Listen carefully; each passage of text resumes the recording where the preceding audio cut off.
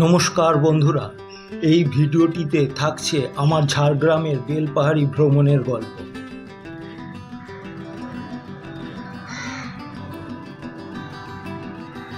গত কুড়ি সেপ্টেম্বর দু হাজার তেইশ, আমি হাওড়া স্টেশন থেকে তিতলাগড় ইস্পাত এক্সপ্রেস ধরে ঝাড়গ্রাম স্টেশনে পৌঁছাই। কলকাতা থেকে ঝাড়গ্রামের দূরত্ব ট্রেনে একশো চুয়ান্ন কিলোমিটার, যা এক্সপ্রেস ট্রেনে সময় লাগে দু ঘণ্টা কুড়ি মিনিটের মতো। কলকাতা থেকে ঝাড়গ্রাম পৌঁছানোর জন্য অনেকগুলি ট্রেন রয়েছে। তার মধ্যে কয়েকটি হলো যেরকম ঝাড়গ্রাম এক্সপ্রেস, যেটা পাঁচটা চল্লিশে হাওড়া স্টেশন থেকে ছাড়ে, আর রয়েছে ছটা কুড়িতে জনশতাব্দী এক্সপ্রেস। তারপরে ট্রেনটি হলো তিতলাগড় ইস্পাত এক্সপ্রেস আর রয়েছে লোকাল ট্রেন যা পৌঁছাতে আপনার আনুমানিক সময় লাগে দু ঘণ্টা কুড়ি মিনিটের মতো আমার পিছনে যে ট্রেনটা ছেড়ে দিচ্ছে দেখতে পাচ্ছেন? এই ট্রেনে করেই ঝাড়গ্রামে এসে পৌঁছালাম। সড়ক পথে কলকাতা থেকে ঝাড়গ্রামের দূরত্ব একশো আটাত্তর kilometre. NH six Mumbai Kolkata highway ধরে যা কলকাতা থেকে ঝাড়গ্রাম পৌঁছাতে সময় লাগে চার ঘণ্টার মতো।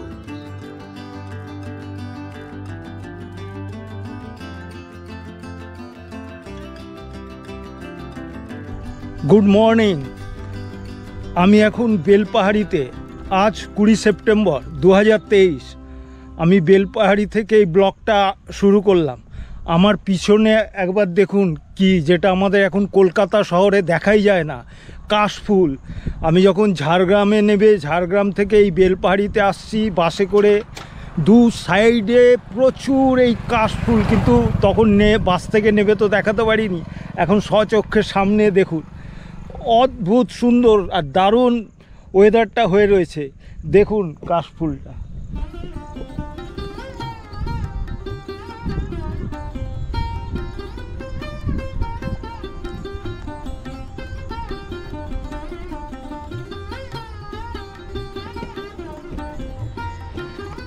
আমি এখন ঘাগরা জলপ্রপাত দেখতে যাচ্ছি আর তারা ফের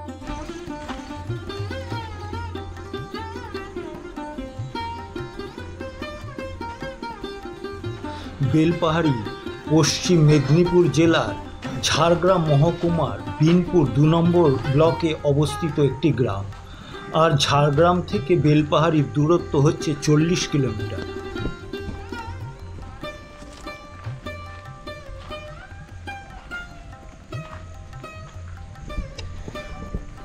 পুরো কাশফুলের ঘন বন।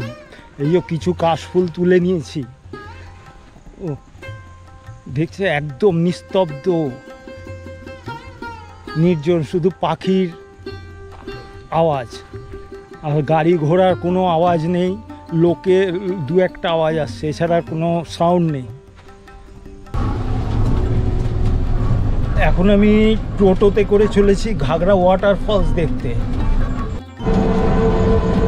এই বেলপাহাড়ির যে রাস্তা দিয়ে আমি ঘাগরা ওয়াটারফলস দেখতে যাচ্ছি, দু সাইডের জায়গা, প্রকৃতি, পুরো চারিদিকে সবুজ, অদ্ভুত সুন্দর লাগছে। অদ্ভুত সুন্দর, নিরিবিলি, শান্ত প্রাকৃতিক পরিবেশ। দেখুন দু সাইডটা কীরকম, টোটোটা আস্তে আস্তে যাচ্ছে দু সাইডের গ্রাম বাংলার দৃশ্যটা দেখুন একবার।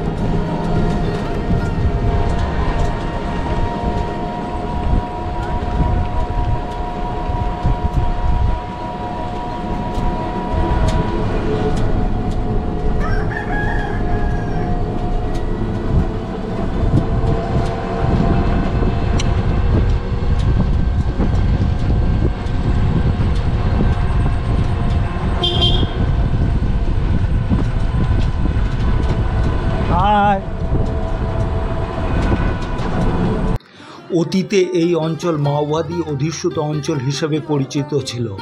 বর্তমান সময় যা মাওবাদী মুক্ত এবং শীতকালে এখানে প্রচুর ট্যুরিস্ট বেড়াতে আসে।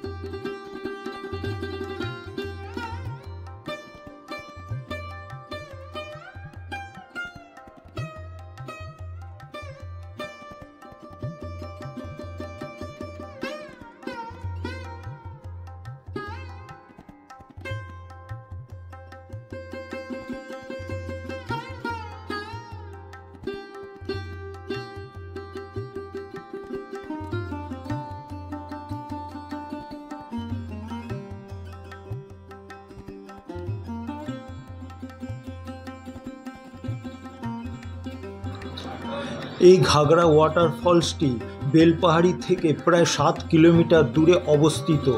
এটি গিরিখাতের মধ্যে থেকে জলপ্রপাত বয়ে চলেছে। আর এটি একটি জনপ্রিয় পিকনিক স্পটও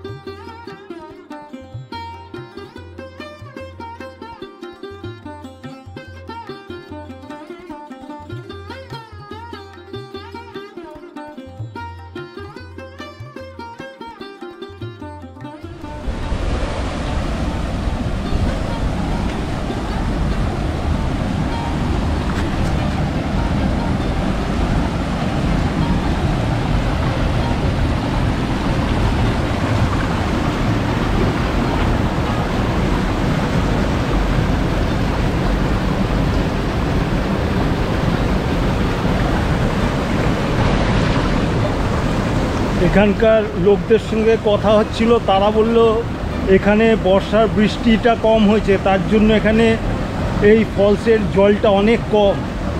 কিন্তু অদ্ভুত সুন্দর জায়গা, অপূর্ব, চোখ জুড়িয়ে যাচ্ছে। দেখুন একবার।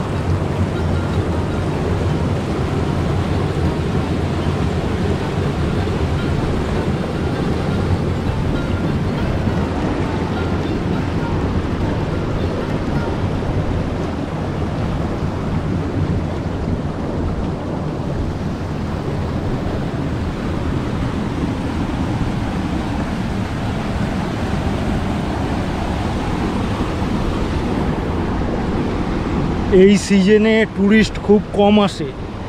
শীতকালের দিকে ট্যুরিস্টটা খুব প্রচুর বেশি হয়। আমাকে আমি যা অটো টোটো করে আসছিলাম সেই বলল। শীতকালে এখানে মানে গাড়ি রাখার জায়গা পাওয়া যায় না। কিন্তু আমি যেই টাইমে এসেছি দারুণ লাগছে ফাঁকা আমি একা। পাথরের ওপরে বসে পড়েছি। নিচ থেকে ঝর্ণা যাচ্ছে। মনে হয় বসেই থাকি এখানে। দারুণ সুন্দর লাগছে দারুণ সুন্দর। এবং ঝর্ণা বয়ে চলেছে জল কম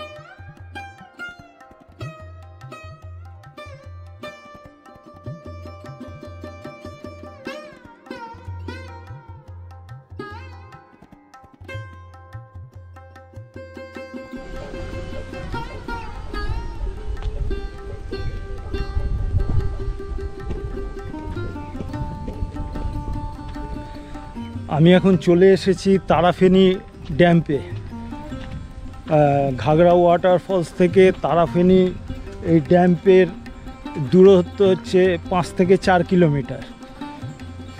আসুন দেখি সামনে থেকে দেখাই আপনাকে দেখুন।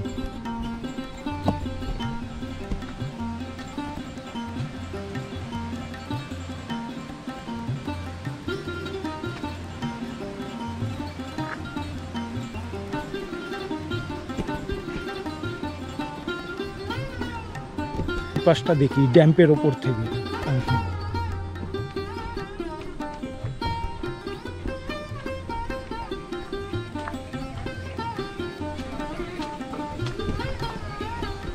এদিকে বর্ষা কম হওয়ার জন্য ওখানে ঘাগড়া ওয়াটারফলসেও জল কম, এইখানে ড্যাম্পেও জল কম।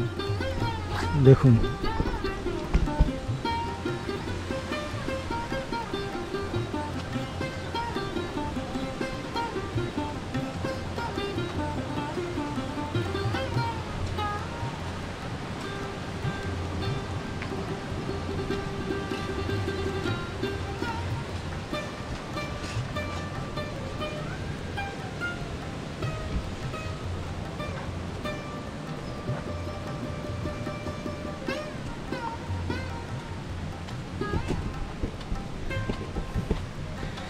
একদিনেই এই দুটো জায়গা বেলপাহাড়ি উম, বেলপাহাড়ি ঘাগড়া ওয়াটারফলস আর এই তারাফেনির ড্যাম দুটোই ঘুরে নেওয়া যায়। এই দিকটায় দেখি সামনে থেকে দেখুন ড্যাম্পের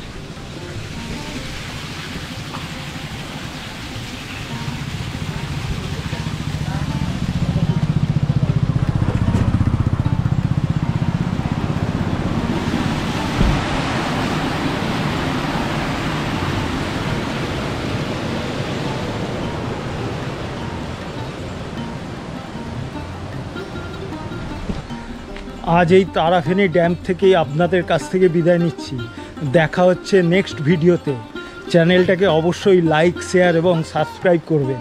নমস্কার, টাটা।